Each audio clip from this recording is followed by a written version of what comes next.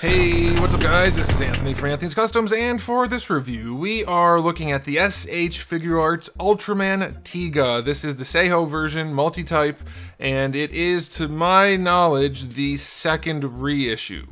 So the third release overall, I believe that's the story with this. It is the one that's in stock at Big Bad Toy Store, by the way. If you need one, check it out. Link in the description below.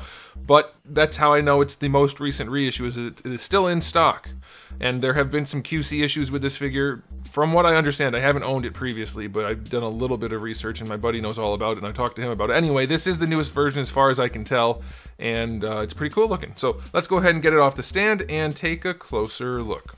Okay, before we look at the figure, I do want to show you my package. This is the package, and maybe those of you who know more about this particular release can tell me if this package lines up with it being the most recent reissue. I have no idea. Like I said, I haven't owned it before, but it is a fancy package. It's all scuffed up, so it might be older. I don't know. Like I said, there's no way for me to know because I can't just find that kind of information easily. But yeah, it's a cool package and it's different than regular Figuarts. He's got a black tray. He comes in a black tray and then there's a black tray for the accessories also inside there. So if you like that kind of packaging, that's pretty good. If you don't, then uh, there's no window or anything for you to look at and some exceedingly dark photos on the back of the box. Okay, so let's go ahead and uh, take a look at this guy. I want to start with a quick question of the day. Which version of Ultraman is your favorite? I don't know. I think after diving into the Ultraman rabbit hole a little bit, I might be leaning towards Tiga here. Uh, I don't know for sure. And I'm assuming it's pronounced Tiga, by the way, but I, I don't know. Like I said, I have not watched very much, if any, Japanese Ultraman at all. Uh, I know I watched a little bit as a kid, and I'm guessing that was the American show. And then, of course, I watched like the Netflix series and things like that, but I, I, don't know. You guys can let me know. But anyway, I like this guy's design a whole bunch. But I also will be reviewing Dyna and whichever other one goes with these guys. I don't remember the names. There's like a group of three that work together or something. I don't know. Anyway, okay, let's get into let's get into the meat and taters here. This guy stands including the whole helmet, about 15 and a half centimeters, just a touch over that, and that's going to make him just about six and a quarter inches roughly. Here he is up against a Marvel Legends Darwin. Not in scale, right? And so we're not going to really have any reason to do this, but very out of scale, scale with Marvel Select. And then here's a McFarlane Batman, still out of scale for sure. Like he's not going to be in scale with anything. He's very small comparatively. Okay, so uh, this guy does look really nice. I don't have it overexposed or anything. He is just very shiny. The silver parts are very shiny. You can see like it's not overly bright. My film is not or my video is not so bright, you can see the white on Captain America. It's not like super washed out unless I face it right towards the lighting, but still, he's just very, very shiny and it looks great. I love the way this figure looks. It's a very, very clean paint job, very clean everything. The eyes are nice and transparent so they catch the light nicely. You can still see the little the little cutouts in there very well. Very, very good looking. The silver paint is very nice. No shading anywhere. I do think we could benefit from some shading, just a little bit to kind of bring them to life. But yeah, it's very clean. Very, very, very clean. I like it. I like the sculpt on this guy a lot too. It's, it's very organic looking. I think it's a very good recreation of the uh, live action, the suit actor. It looks just like him, really. I mean, they did a really good job with this one. I love it. And then the uh, the detail paintwork, it's not like absolutely perfect. You can see a little bit of silver in there along with the gold, but I mean, it looks pretty good if you ask me. It's very clean. So, yeah, I like it. All right, aesthetically speaking, it's not like the most interesting figure in the world, but it does exactly what it's supposed to do. I think very well. I will go 9 out of 10. It's nice. I would like a little bit of shading just to bring him to life and uh, just maybe a little bit cleaner paint but that's hardly a thing. All right, now as far as accessories go, you get a bunch of hands. There's a whole bunch of hands. I don't need to name them. Uh, you get the alternate chest piece, so you can go from the blue to the red, and then you get the alternate forearm piece, so that he can do his uh, super ray. I can never remember what they're called. Gosh, I can never remember what they call it. Any, uh, anyway, he's got that. His is white mostly, semi-transparent. It's kind of milky, uh, but yeah, it looks good. It is, it is transparent and uh, it looks nice when you put it on his arm. So that's good. Not a ton of accessories, but that's like all you need really. It's Ultraman. He doesn't really need anything else. So it's a bunch of hands. I'll say 9 out of 10, 8 out of 10, you can pick. Maybe he's got more. I don't know if this one has any other effect parts that would be useful to him. So, um, I don't know. All right, let's talk about the articulation. This guy's kind of unique, and I'll try to cover it as best I can, and I'll explain that in a minute. So, he does have this hinge in his head rather than ball pegs, and that is for this joint back here. Um, or not the joint, but this piece back here. It has like a hinge in the neck to hide that piece, which allows him to look up pretty well, surprisingly well. I like that, but it does mean that there's just a hinge and a straight peg in the head, so he can't really lean on that top joint. It's going to do most of the leaning on the neck. So he's a little bit more limited than you might have from other Ultraman figures, just a little bit. Um, but mostly they have that same sort of thing with the hinge at the top, from what I can tell anyway. All the ones I have have that, so I don't know. It's okay. It's not the best thing ever, but you can probably get that done thanks to the good neck joint. Now, this piece over the shoulder is very soft, so it doesn't get in the way too much. And otherwise, he does have basically your standard Ultraman shoulder hinge uh, with the big cap over it. So it looks nice. Doesn't get in the way as much as it could, so I don't hate it. Like, that's fine. I'd rather it go higher, and I'd rather they have a more traditional uh, ball hinge setup rather than the cap on there, but it's okay. There is a butterfly joint, which allows him to bring his arm forward. This soft piece isn't soft enough to really allow him to do too much. You can see it flexes, but it's not really generating a whole lot of extra range but it works out pretty well. Like it's not gonna be a huge hindrance to posability. You do get your bicep swivel in there, that's fine. Elbow joint is a double jointed elbow, kind of. It's a little bit extra, so you get that range, which is really nice. It's kind of a goofy looking elbow, and that's because they added a weird, weird swivel hinge type thing in the elbow. Doesn't work like the uh, Kinnikuman guys.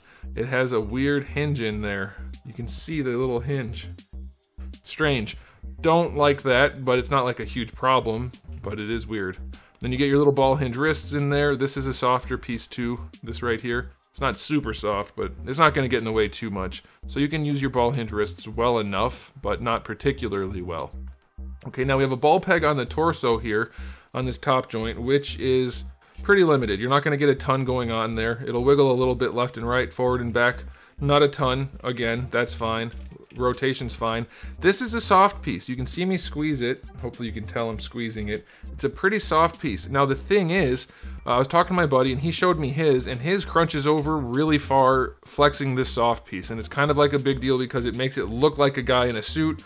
Um, made of like spandex and rubber and, and whatever else they'd use, and it looks good. However, when I tried to do mine, it doesn't want to go. Like, if I really force it, the plastic, this outer plastic flexes, but it also wrinkles the paint on there. I don't want to F it up too much, so I don't really want to do it anymore. And it's not, it, it won't hold that pose. It'll move on this bottom ball peg, don't get me wrong, that part works, but there's a hinge in here that I cannot get to work. So I don't know. It's supposed to work. I'll show you. Actually, he just messaged me, so I'm going to cut this, but I want to see what he said. Okay, so He's telling me he has the second release, and his is definitely a softer material here, or some sort of rubber. This does feel to me closer to a soft PVC, which could explain that it's more limited than the second release. He knows his is second release. I'm assuming mine is third, and especially since this and this feels the same, because this is PVC here and this feels the same material, I do think this is what's restricting it. Uh, his said he said his paint wrinkles too, but it goes away when you're done posing it. But yeah, mine just does not want to do much, and it, it really did work well for his. So I'm guessing the second release has better range due to the material here. This is the third release. I don't know how much you care about the ab crunch on it, so that might you might want to track down number two. I don't know how you'll be able to do that effectively. Maybe there's a way. This is number three. It's readily available. So I don't personally care about that sort of thing, but it would be nice. I don't think it leans side to side in there. So it would be nice to have better range, but I I'm not going to try to force it anymore. Uh, so I guess that's the way that goes. All right, for the hips, they tuck in, and he gets out to almost the splits. Like not fully, oops, not fully, but that's pretty good. I'll take that. And no weird, ugly gapping, not really. Going forward, they tuck in again, and the crotch is a softer PVC, so he kicks fine. For all the people that say, oh, you should use drop downs. Eh, I don't think you should. you don't need to. Look at that. He kicks just fine, really high. That's nice. He does go back a little bit, even though he has the butt on here. It's a relatively soft butt. and you have a little bit of extra play in here, so you can bring the legs back and forward nicely. Thigh swivel works well going out to the side, not so much inside, but you don't really need that, so that's pretty okay by me. Double jointed knee, well, it's okay. I mean, you get decent range there, that's fine. Uh, but they did that hinge thing again down here, which I just don't get. What is that really for? That's so strange. I don't know, and it's kind of loose too. So yeah, I don't care for that at all. I just would never would never use that. It's not really a hindrance in any way, other than a little wiggle there. But eh, whatever. All right, for the ankles, you have your little ball hinge, which has decent range, except going forward it doesn't really. And I'll show you why if I don't drop the figure. There's a little plastic lip right there at the bottom. You see that extra lip? That doesn't need to be there at all. It doesn't really help the aesthetic. If anything, it kind of hurts it. And it does get in the way of the ankle range. So my buddy cut his off. I would probably do that too if I modified my figures. I would recommend it if you are getting your figure to pose and don't care about resale value at all. Uh, I would cut that off. Just carefully if you're a kid and or adult, but definitely with adult supervision if you're a kid. Uh, but yeah, I would cut that little lip off and you'd get better range going forward because you have basically none on there as is. But beyond that, we do have a nice enough ankle rocker, so that's pretty good. There you go. And you get a toe hinge, which is well enough placed and well enough done. It's not perfect, but it will do. So yeah, his articulation, if you have one that has the torso that works better, it's pretty solid. It's not like the most articulated figure ever, but in order to do it while looking good, it does a good job of that. And I have to say, this is one of the best looking Ultraman figures I've looked at. And so I like that a whole bunch. And if you have the range, then great. But everything else works well. So I'll give his articulation a 7. If I had the better ab crunch on mine, then I'd give it a higher rating. But as it is, it's just, it's fine. Nothing special, but it does work well enough. Okay, so now it's time for the final verdict on this guy. Gorgeous looking figure. If you like the way Ultraman looks with the blue and red and silver and gold, this is the one to pick up for sure. It's gorgeous. It looks so good in hand. Uh, in fact, let me grab, I think I have Ribbit right here. I know his name isn't Ribbit, but that's what I call him because it's funny. Uh, he's got the more yellow eyes and a whole different look altogether, but that one, this one right here got a really good rating for me, and I liked it a whole bunch. But this one,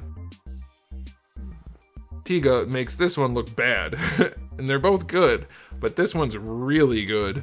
So yeah, the the Seihou Tiga is nice, and I would recommend it. Yeah, I'll give it an overall rating of um, I'm gonna say because I can't get the ab crunch to work, it doesn't pose that well. It does look. I'm still gonna go eight and a half out of ten. I like it a lot. I would like it to be better. I would like that ab crunch part to work better, but it's still a really good one, so I recommend it. Let me know what you guys think in the comment section below, and if you own this guy, let me know which version you own, and if your torso is extra soft and flexible, or if yours is stiffer like mine, let me know. Or if you have the first one, let me know what QC issues you have, because apparently it was riddled. Alright, okay, there it is. Thanks for watching, guys. If you enjoyed the video, please do give it a thumbs up. If you didn't, give it a thumbs down. And if you haven't subscribed, you should. I have new videos just about every single day, and thousands already on the channel. So make sure you come back for all of that. And in the meantime, keep collecting.